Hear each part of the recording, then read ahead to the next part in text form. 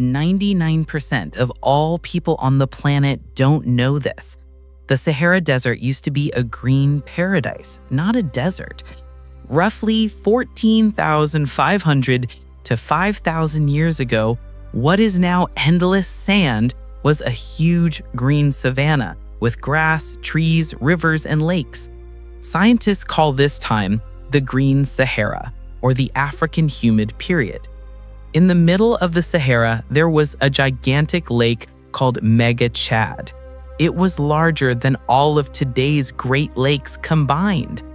Rivers flowed across the region, there were crocodiles and fish, and people hunted, herded animals, practiced early farming, and left rock art showing giraffes, hippos, and scenes from daily life.